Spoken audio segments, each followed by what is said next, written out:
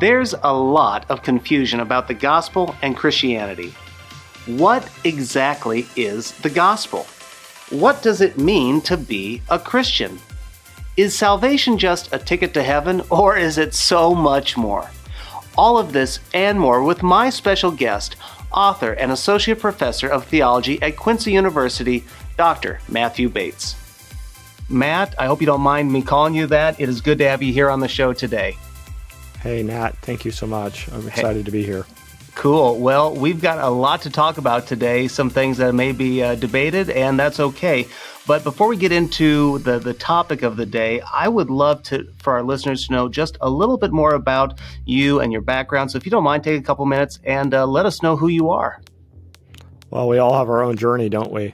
Yeah. Um, well, yeah, my story is um, one that's probably not too unusual for people who grew up in an evangelical or quasi evangelical kind of culture. Um, mm. I uh, remember from some of my very earliest days, maybe even my very first memory, you know, praying to accept Jesus into my heart. Mm-hmm. At least that's how the matter was framed to me by my mother.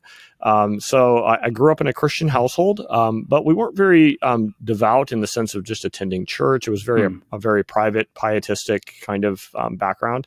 Mm. and um, through a series of events, we ended up eventually going to a church. It was a fundamentalist, King James only kind of church um, that um, was on the one hand like full of the love of Jesus, and I really um, met uh, the Lord there in whole new ways. But mm. on the hmm. other hand, there was some goofiness and some some probably some intellectual problems. There there was maybe a, a slightly anti-intellectual culture to all mm. of hmm. that that um, raised questions for me too.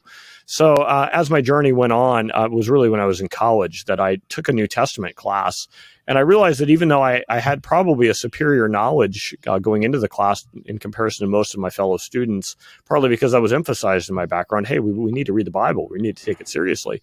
Hmm. Um, but I realized I had no idea how to really read it, right? That I, I knew a lot of scripture, but there was some sort of fundamental interpretive framework that, um, that I had sort of missed out on um, as I really didn't um, have any sense other than a kind of a proof text here and a proof text there hmm. uh, for how to put scripture together. Um, so that awakened me and it helped me realize I needed to clean up some sin issues in my life and also um, kind of launched me on a spiritual quest uh, to, hmm. to, to, recognize that in scripture, right, this is where I, I have my most um, uh, weighty, intellectual, spiritual, um, everything. There's a rich appetite there hmm. uh, to, to try to learn everything, right? That's that's part of Scripture. Mm-hmm. Um, and then uh, from there, went on to uh, seminary at Regent College in Vancouver, British Columbia, um, and uh, did um, master's level work in Scripture. And then I did PhD work at Notre Dame. Um, so that hmm. was interesting to kind of move from a, a Protestant to a Catholic environment uh, mm-hmm. for doing PhD work. Um, there was a lot of Protestants there studying at Notre Dame too. Um, so, um, in fact, my doctoral supervisor was Protestant. Hmm. So, um, but nevertheless, an overarching Catholic context that made for a very rich experience. So, that's a little bit about my journey. Wow. Well, I think probably your journey uh, probably hit a few notes with a few people, you know, because I mean, my actually background somewhat similar in that you know, I went to an evangelical church and at age four, you know, heard, heard a gospel message and, you know, was asked, you know, do you want to receive Jesus into your heart? And I'm like, well, why wouldn't I? I mean, if, if I die and my mom's in heaven, I want to be with my mom. I don't want to be in hell. So, you know, I asked Jesus into my heart. But, but as I grew up to, grew up to be an adult and began to really wrestle with my faith and what it meant to be a follower of Christ, I realized something's something's amiss with that approach to salvation. And so that's really what we want to talk about today. Uh, today we want to talk about your book, Salvation by Allegiance Alone, uh, and how I came to to acquire this book is I was serving with a, a, a pastor here in Lincoln, Nebraska, and we had a lot of great discussion about what salvation really meant. Uh, how does a person get saved, and what's the outflow of it? And he goes, "You got to read this book. I think this is the the the answer you've been looking for." And so let's just start talking about your book, Salvation by Allegiance Alone. I'm curious, what's the book about for our listeners, and also why did you write this book? Well, the book is about, um, on the one hand, that we we need to think carefully about the gospel, and it could be that we are missing um, dimensions of the gospel as it's expressed in the Bible, and I would say in a widespread way, missing um, at least key emphases. Hmm. And on the other hand, um, that might be connected to a misunderstanding of what faith is. So that that obviously connects to the purpose in writing the book, right? right. As um, as it was to address those deficiencies that I saw. Um, largely in you know Protestant evangelical culture that I was familiar with. That's my background, right? Mm-hmm. But but also as as that broadened out, a sense of like actually there's there's some problems um, that are significant across the board here, at least in how we're speaking about salvation. Um, so the book emerged from those two concerns, and also you know of course scholarly um, work that I was doing at the same time too. Right. Hmm. Well, in your book, Salvation by Allegiance Alone, uh, you offer a definition of pistis that is different than what many of us have been taught, whether in seminary or just in a Bible study or in Sunday school. Uh, we typically translate the word pistis as faith or belief, but in your book, you offer a different definition. Talk about how you came to discover that and, and how did you come to that conclusion? Well, I think actually the bell first got rung for me in that direction when I was reading um, a, a, book by N.T. Wright. And this was actually right when I was starting seminary at Regent College, um, as we actually got to choose a, a, number of books off a list to read. And that one was of interest to me. I thought, well, the challenge of Jesus, I want to be challenged by Jesus. So hmm. I, would heard I'd heard of N.T. Wright and heard that it was he was good and interesting. So I, I snagged that book as, as one of the required books hmm. uh, that I was going to do a little report on. Um, and so, in reading that, one of the things that Wright mentions is that there's actually a, a moment in Josephus, uh, who's a Jewish historian from the time of Jesus, who's he's involved in a war with the Romans, and he's a Jewish general. And um, there's a moment where he has to call some of his um, his um, subordinates to um, to kind of realign their loyalty, and he uses pistis language. Hmm. Um, he uses the adjectival form of pistis um, and summoning them to repent and to believe in him. And it was interesting because that's so close to, to what Jesus, you know, is calling his followers to do. And mm-hmm. Wright points out this parallel, right? And so that kind of, uh, I, I just pondered that, right? And then, um, you know, as I was doing my Greek training um, and then going on to do it, to do doctoral work, um, I, I increasingly re- recognized how often in the New Testament that faith can and should be translated faithfulness or loyalty, mm-hmm. um, especially when we're talking about like the community response to um, to King Jesus um, you know that when Paul commends uh, you know various churches for their um, their pistis, hmm. right? He, he has in view probably their fidelity or their loyalty, um, not hmm. necessarily their trust or their belief. Hmm. And um, seeing how many how often that's the case in the New Testament made me think about the broader language, and maybe um, there's more slippage between the idea of faith and and faithfulness too, hmm. um, and that got me thinking. Wow. Well, it, I mean, when I came up upon this, I thought, man, I, I, don't remember ever like seeing this range of meaning. And so, I mean, no doubt that took you down a path that, that was very eye opening for you and challenging. Um, but talk a little more about this idea of allegiance compared to just faith, because I, I don't know if many of us have wrestled with that, but, but dig a little bit deeper. Help us understand why that matters. Yeah, so um, one possible meaning then of pistis is loyalty or allegiance, um, mm-hmm. and this is something that is is common knowledge among experts in biblical studies. I don't think that point would be disputed by anybody. Mm-hmm. Um, but on the other hand, it's interesting because as um, you know, biblical scholarship developed, right? That there um, there was tension within the Protestant world over you know faith and works and not wanting to um, mix those up or slide those together, right. and so that I think pressured the the community to a translation of the word pistis that would exclude those kinds of loyalty or allegiance ideas. Um, but certainly we see that um, that's um, those ideas are present. Now, what it foregrounds, of course, is um, that there's a difference between giving your loyalty or allegiance to a king rather than just trusting in the promises of God. Ah, mm-hmm. So that would be the the kind of the real payoff, right? Would be that traditional um, the- theological constructions following from Luther on down, right, in the Protestant world have tended to say, like, what does God want from you? God really wants you to trust his promises and that they're true in Jesus, right. that Jesus has died for your sins and that you're forgiven. And that if you trust that to be true and you believe it uh, in some kind of effective sense, right, um, well, then you're saved. Right. Um, and so uh, the the claim is that um, maybe we need to think through that language of belief a little more carefully and to bring in the loyalty nuance more, and that might help resolve some of the tension um, in classic um, in classic the- theology around faith and works. Got it. Got it.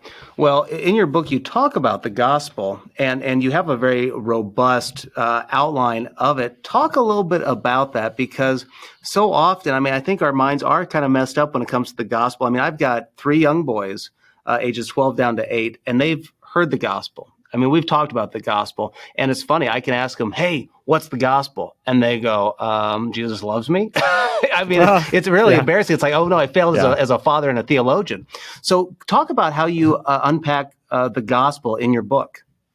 Well, Nat, I, I, don't think you've failed as a father or a theologian. I think we could ask a lot of a lot of pastors and missionaries that same question: What is the gospel? And um, the reality is, is we start to fumble like when we get to it. I mean, on the one hand, we we kind of know it, and we feel like we know it in an intuitive sense, right? But then mm-hmm. whenever we start to press into the exact details, a lot of us fumble. I've done that exercise a lot in teaching this material. Like, oh. take one minute and and write down what the gospel is, right? right. And um, it's interesting to see what people produce. Hmm. Um, so yeah, um, whenever we pay careful attention to the gospel and scripture, I think one of the things that we discover is that it's bigger than we thought it was, mm-hmm. um, but it's not as big as all creation. It's not just a story of creation and new cre- creation, but on the other hand, it might maybe has a different climax than we think mm. it does, mm. and it's bringing those two together. Um, uh, I think those two insights together that really helps us to rethink the gospel in a more biblical way. So typically the typical understanding of the gospel would be that it's centered on the cross and that it's mm. about Jesus dying for our sins mm. and uh, and then maybe also his resurrection that might get thrown into and the center of energy tends to fall there on that right. point that Jesus right. died for our sins that's really the that's the really important part to get to with regard to the gospel mm-hmm. actually whenever we look at a I think a more robust um, biblical definition of the word evangelion and we kind of explore that in the New Testament and we we look at its um, it's the, the places where that word evangelion gospel is clearly given content. Um, we see that it's a little wider than that, um, that it in fact begins with the Father sending the Son to take on human flesh. Hmm. Um, so the incarnation we would want to see as part of the gospel too. And of course, like if you would ask any Christian, is the incarnation important? Um, they would say yes. Absolutely, is it gospel? Yeah. Um, they might be like, I, I don't know, right? Hmm. Um, I think I think actually when we look at um, the word evangelion in the New Testament and we explore places where the gospel is preached, we would see that it is part of the hmm. gospel. Mm-hmm. So the Son sends the Father to take on human flesh, and He does so in fulfillment of the promises um, that, that God made to David. Mm-hmm. Right? There's there seems to be a focus on that, um, and that um, that as Jesus then lives uh, out the human life, uh, having been born into the line of David, mm-hmm. uh, he of course dies for our sins, and that's a, that is a fulfillment of Old Testament patterns and prophecies. Right, that's according to the Scriptures. Mm-hmm. He's buried, he's raised on the third day in accordance with the Scriptures. But we don't. We often stop the gospel there, and I mm-hmm. think that's the problem. Is that that's actually not where the gospel stops. When we pay attention to it, um, that beyond that, Jesus is witnessed. Right? right, like people see him raised from the dead, and then then the the actual the, the, the actual most energy in terms of how the New Testament talks about the gospel is on the next part that Jesus has been enthroned at the right hand of God, that he's been mm-hmm. made Lord and Christ. Right. So we often just use the name Jesus Christ and we don't really think very much about it. But the Christ is an honorific title. It means the king. Yes. Right. And so the whole framework of the gospel, the whole packaging right? Whenever Paul talks about Jesus, you know, um, having died for our sins, uh, having been buried, having been raised from the thir- uh, from the dead on the third day, right? When he talks about all that, he actually doesn't use the word Jesus. He uses the word the Christ. The Christ hmm. is the one who has done this. Hmm. But we slide right by that, right? And we don't think about how this is all a story about a king who's now enthroned. Right. Um, so once we recognize that the high point of the gospel or the climactic energy lands on Jesus as he is now ruling as king, that helps us to rethink what it means to respond to the king. It helps us to rethink about what faith might mean in relationship to this king. Maybe it means something more like allegiance. Hmm. Wow. Well, you're listening to the Hard Questions, Real Answers podcast from Back to the Bible. And joining me today is author and associate professor of theology at Quincy University, Matthew Bates. And here we are talking with you, Matt. And it's all about your book, Salvation by Allegiance Alone. And again, this is a thought provoking book. And it's honestly really challenging because it makes us rethink what it means to believe and what are the implications of our salvation. And one of the things you just talked about is Christ's kingship. And that's something I'm convinced most evangelical Christians never consider. I, I think more and more, I hope we're talking more about his lordship, uh, but not so much about that kingship. And, and I love that picture of King Jesus. Um, so, talk about that a little bit more. Why is that and so important? And is there a difference between lordship and kingship? Yeah. Um, well, I think that, I mean, if we want to get technical, right, it's Jesus the Christ. And so um, we have to kind of unpack what it means to be the Messiah. Of mm-hmm. course, mm-hmm. um, this is nothing new to Christian theology. Everyone recognizes Jesus as the Messiah. Right. Um, the problem is that sometimes that gets um, kind of packaged as an extraneous thing beyond the gospel, mm-hmm. as if, um, or his lordship does. Like that, okay, the gospel is Jesus died for your sins. Oh, and he's the Lord too right? That's like an extra factoid outside the gospel or beyond the gospel. Or maybe it's in the gospel and like people might say like, okay, you need to like confess Jesus as Lord too. Mm-hmm. And hmm. there's a recognition, but oftentimes that's that's inadequately interfaced with the whole scheme of salvation, mm-hmm. right? As people then are like asking questions, well, if you have to submit to him as Lord, doesn't that mean you have to like do something with your life? And doesn't that then implicate us into works? Mm-hmm. Um, how does this avoid um, like violating grace? And you begin to get all these kinds of um, kind of difficult theological questions that that are are part of that um, when we realize that Jesus' kingship is integral to the gospel, right. um, then, then we, we begin to do better. So the Messiah idea um, is the idea of a Jewish style universal king. So they were mm. anticipating a king, right, who would be king over Israel, but that he would have universal significance because the nations would come to him in order to be informed by him, and the law would go forth from Zion in some way, right? And so th- there would be a sense that he had beyond Israel's significance. So we're justified in seeing this as um, language that uh, that it would be equivalent to kingly language, I think, hmm. in our in our context.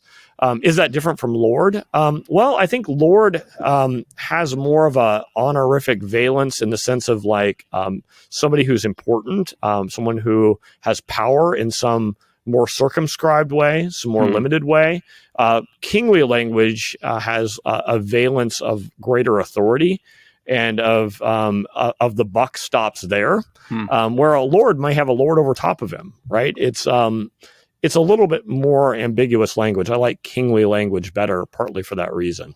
Yeah, well, that makes a lot of sense, and I, I, guess that part might be one of the reasons why I used it more than just Lord. Um, maybe it was just, maybe by chance, I don't know. Uh, but I,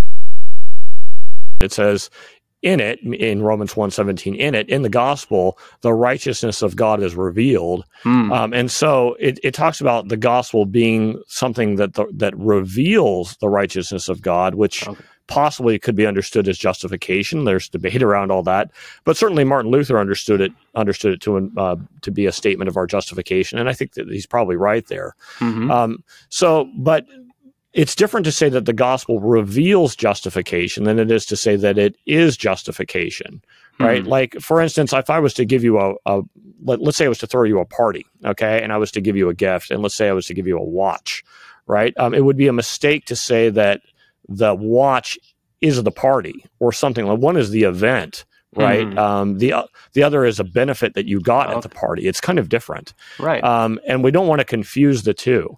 So, the best way to speak about the relationship between the gospel and justification would be to say that justification is a benefit that derives from the gospel, but is not part of the gospel. Hmm. Our justification then is something that we receive whenever we respond to the gospel. So, it's conditioned on the gospel, it's conditioned on an acknowledgement that Jesus is king. But if we start putting it within the gospel, the problem is that it becomes an object of gospel scrutiny and affirmation hmm. in a way that it wasn't intended to be. And it makes the doctrine function in strange ways for the church. So it's better to talk about justification then as a benefit we receive from the gospel, and faith is actually the response to the gospel. Ah. So neither is actually part of the gospel technically. They're both very closely related to it. Um, uh, faith or allegiance or faithfulness or fidelity, right, mm-hmm. is the proper response to the gospel. Right. Justification of benefit we receive from the gospel. Well, that that brings a lot of clarity. I'm glad I'm not I'm not the only person who maybe have gotten a little stuck on that. So that's really encouraging. Um, well, you you brought up the righteousness of God. I want to ask one more question about some of the content of the book, and then we're going to move into more of the so what, the application. Okay. But um, in your book, you talk about the order of salvation, and and in that you define the righteousness of God. So, how do you, according to your book, define the righteousness of God, and how does that agree or disagree with a reformed perspective? Yeah, um, that's a that's a kind of an exacting question. I'd have to look up my quote to be honest uh, to remember yeah. exactly how I defined it. And I forget um, what page it's on. But um, yeah, I I um, I, I uh, didn't don't even have my book in hand right now. Um, but it's essentially um, the righteousness of God is is Jesus uh, like would, would, essentially be God's declaration over Jesus as Jesus bears the wrath of God, right? right. That Jesus is indeed innocent. Uh, so it's as Jesus makes atonement, right? That Jesus is indeed the innocent one, and that so are all who are who are participants in him. So hmm. uh, it identifies Jesus, uh, the Christ, as the one who has been justified, right. and that then um, what follows from that is that all who are in Him are too. Um, so I think that we can find room for seeing righteousness of God as a status that we as believers do hold. Luther was right on that point. Right. Um, I don't think it, I don't think we should reduce it to the covenant faithfulness of God as uh, has been done by some scholars.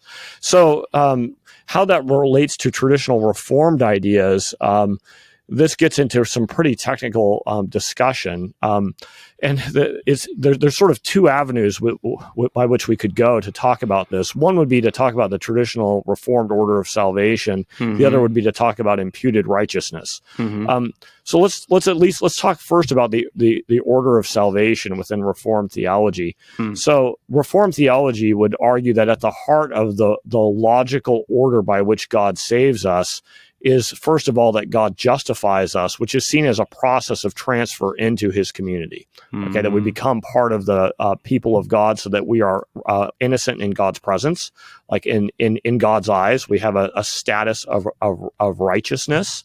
All right, mm. but then after that, then uh, God then begins to sanctify us, and that's considered logically after, not necessarily chronologically after. Within mm. Reformed theology, they both flow from Christ. Mm-hmm. Okay, as John Calvin articulated that, um, and then we then move to glorification. We we eventually then attain a status of glory as that process unfolds. Right. Um, so that would be the the traditional order of salvation.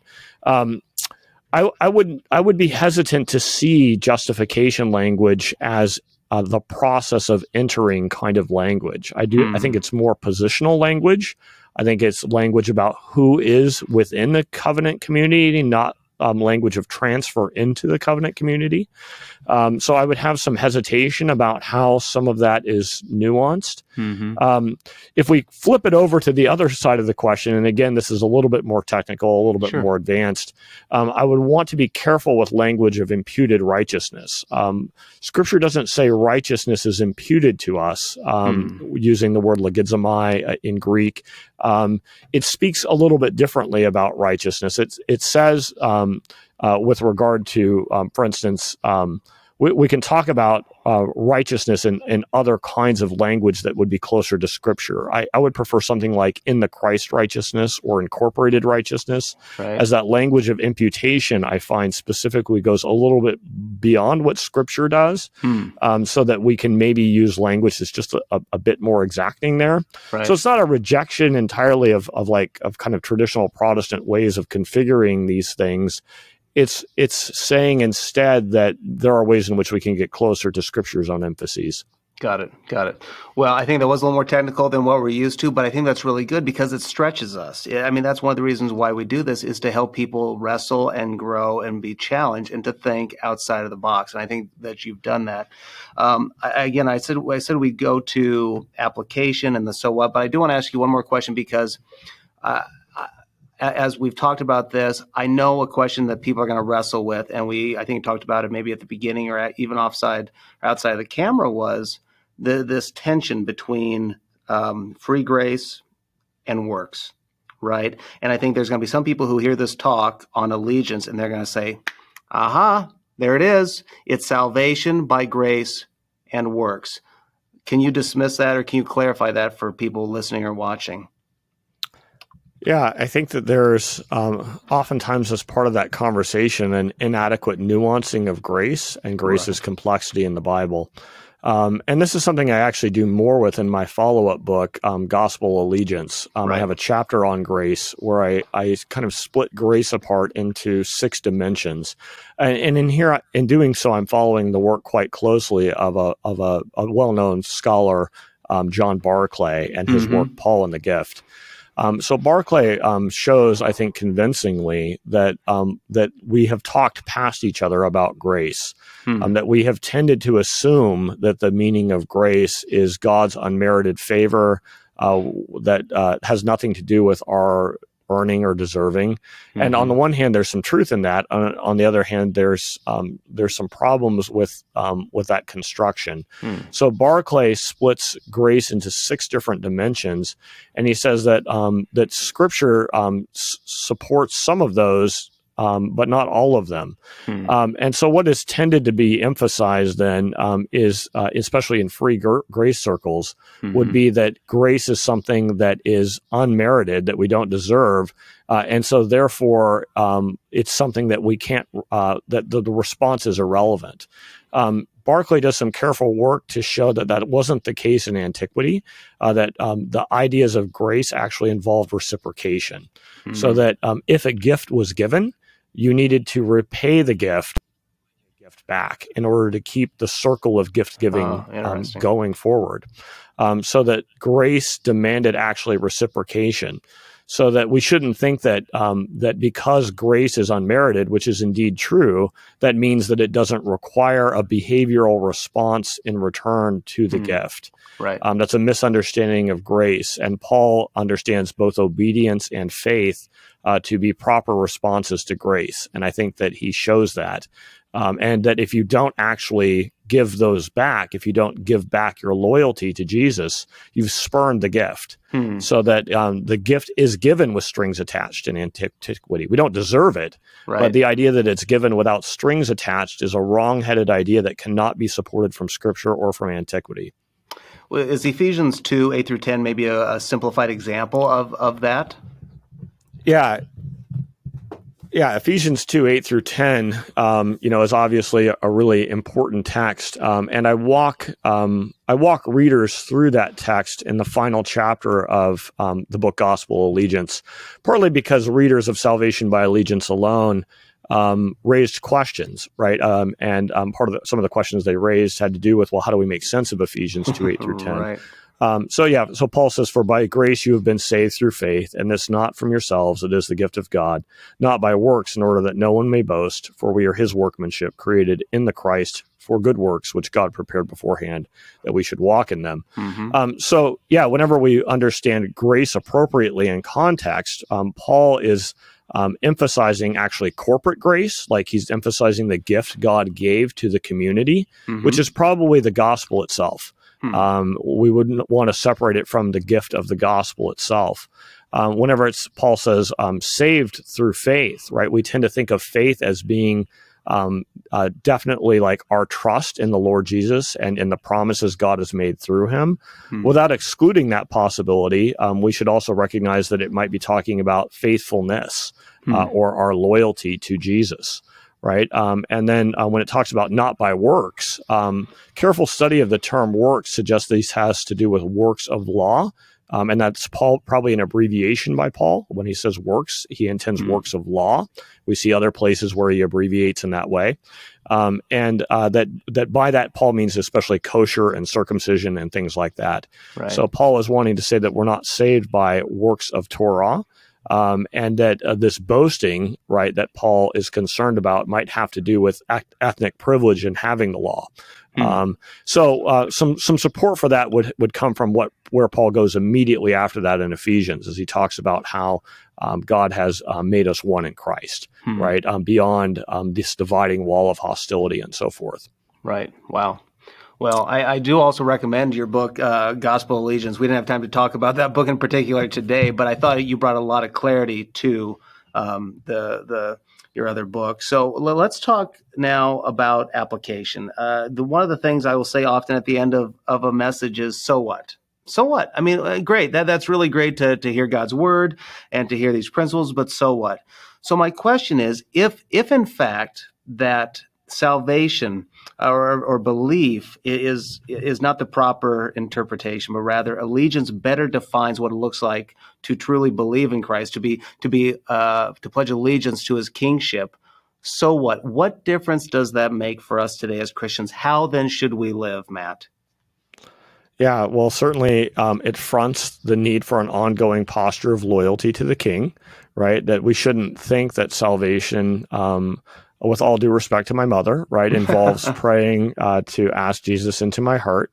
Um, not that that can't be effective for our salvation. Many of us come to Christ in that way, but I think we all recognize that if it ends there, something has gone radically wrong. Hmm. Um, and I think it helps highlight the degree to which um, our our ongoing response to Jesus, right, of loyalty right. or allegiance, that this is not something that we have to earn. Like, um, we don't have to have perfect allegiance. Um, his allegiance has a primacy. He's won salvation for us, and we're integrated into his allegiance, his hmm. faithfulness. Um, but at the same time, um, our allegiance has to be real, and that involves an embodiment from the ground up, right? We, our bodies are implicated. Right. So one of the things I think that it reminds us of is that we can't just be mind only Christians, mm. right? That um, we can't just think like, okay, well, God is really just interested in my trust. He just wants mm-hmm. this mental posture from me. And if I have the right mental posture, then I'm then he's happy with me. Uh, right. Uh, God is interested in the whole of me, and that involves an ongoing trajectory of allegiance in my life. But it's not going to be perfect. Um, and Jesus is the forgiving king, uh, but right. nevertheless, he is the king, right? Yep. And we we need to take that seriously. So I, I would say that's um, point number one would be like kind of an integration of discipleship and mm. um, uh, into our understanding of salvation, mm-hmm. uh, which I think is consonant with everything Jesus teaches, right? That we need to take up our cross to follow Him, yes. right? And that our salvation involves that. Yep. Yeah. So, um, yeah, that that would be one thing I would say. Like, why does it matter? Um, yeah. You know, and I, I, think that also helps us to think through um, matters of allegiance more in practical ways in our life, um, mm-hmm. as it helps us to deal with ethical frameworks. If we right. um, if we realize like, okay, um, my highest loyalty goes to King Jesus. Um, it helps us to uh, recognize that we can have legitimate like sub allegiances. Like that doesn't mean that I am not loyal to my wife or mm-hmm. that I'm not loyal to my boss. Um, right. Um, but it helps us to think through the ethics, uh, the mm. ethical mm. boundaries of that. Right. If my wife asked me to do something that was immoral, um, that would violate my allegiance to King Jesus, I would have to say no, even though I'm right. loyal to my wife. If my boss asked me to do something unethical, right, um, I would have to say no. Loyalty to King Jesus trumps that, uh, and I can't, I can't, uh, I can't do that. Hmm. So I think there's some practical payoff um, in in terms of uh, just helping us think through um, what it means to live a life of faithfulness to King Jesus. Right. Yeah, and I think one of one other thing would be potentially is how we convey the gospel to to people and what it really means to be a follower of Christ. And that's one of the terms I use more than Christian. I think Christian has become such a watered down, loosey goosey term that it's like, well, I mean, we're all Christians, right? I mean, hey, have you seen my Facebook status? Uh, and and I just don't think we we can we can do that. So um, when we're conveying the gospel, we have to remember the the total package, the total picture of the gospel. And I think you've done a really good job of laying that out. But I cannot agree more. Live your life as if Jesus Christ is King, because guess what? He is King, and we should live like it. Uh, my last question for you is this, and you actually alluded to it, and I'm glad you did um, you know, we do, I think, as Americans, specifically Americans, have a tension here, right? We pledge allegiance to the flag, right? We we are we're Americans and we're proud of it, and so there is a sense of allegiance. How how does that play out? Because obviously, as a Christian, as a follower of Christ, our allegiance is to Christ first and foremost, but yet we're patriotic. So, uh, how do those two work together? Do they? Can they? Yeah, um, there certainly is tension there. And I think um, we can have a healthy patriotism, I think, without that devolving into a more um, extreme nationalism. Yeah. Um, there's nothing wrong with having pride of local place, pride of um, state place, pride of national place, right? There's nothing wrong with us thinking like, you know, as we come together as citizens, we do things well here in our community. Mm-hmm. like, it becomes dangerous when we see other people as the challenger to that. Hmm. Right. If it becomes like, no, we do things better here in our local town, Quincy, than they do over there in Peoria, Illinois, mm-hmm. like, or in Lincoln, Nebraska. Right. If our, if no, the way we do things in Quincy, right, we're the best, and those people are challengers to our, our mm-hmm. bestness, right? Mm-hmm. Um, then, then, it, then we're in trouble. And I think that especially happens on the national level, right? If we see other nations as challenger, um, rather than seeing God's blessing as enough for the world, right? God mm-hmm. creates the world good.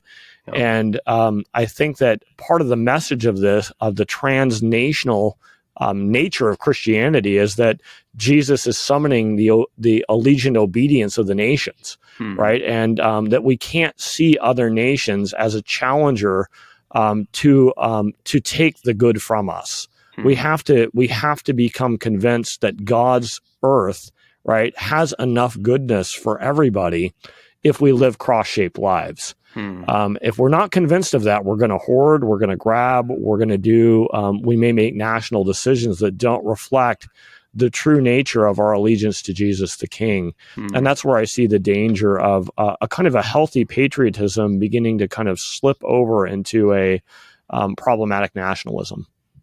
Right. Right.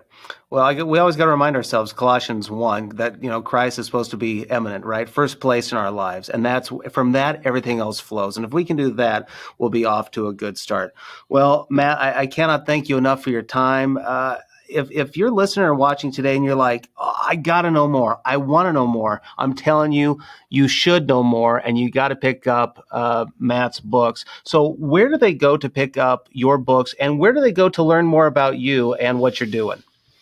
Sure. Um, so yeah, I have a website. It's um, www.matthewwbates.com, I think, um, and uh, you can find links to the books there. Um, obviously, you can go to um, any kind of um, you know nationally oriented book retailer, Amazon or Barnes and Noble or whatnot, and you'll be able to find um, copies of Salvation by Allegiance Alone or Gospel Allegiance or the other couple books I've written.